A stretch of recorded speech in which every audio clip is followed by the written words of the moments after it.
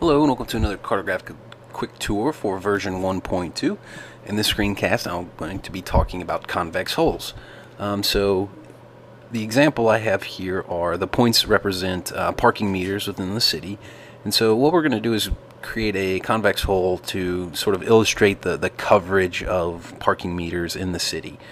Um, and we could do this in a number of ways, but this screencast pertains specifically to co to convex hulls. So we're going to use the convex hull to kind of give us a general area in the city where um, parking meters are located.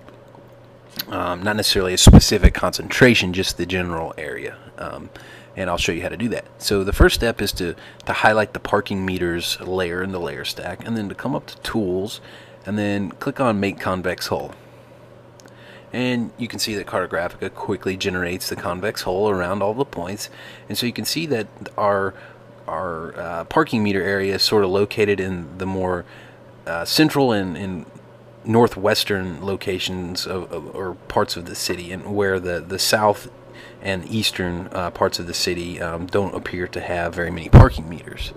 Um, we can adjust the uh, layer styles of the a convex hull by click, clicking on double clicking on the uh, the new layer we create and then uh, choosing the fill color and we can change it to any color we want we can also change the opacity so we can see down below and we can also use some of our table tools to give us more information about our uh, parking meter layer or our uh, convex hull for our parking meter layer.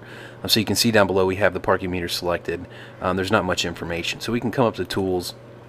We can add an area column.